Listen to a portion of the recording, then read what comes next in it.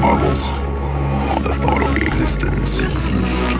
Clueless, it ponders. It ponders whether it is created or if it just happened by pure chance. Or if it just happened by pure chance. The eternity which is the universe.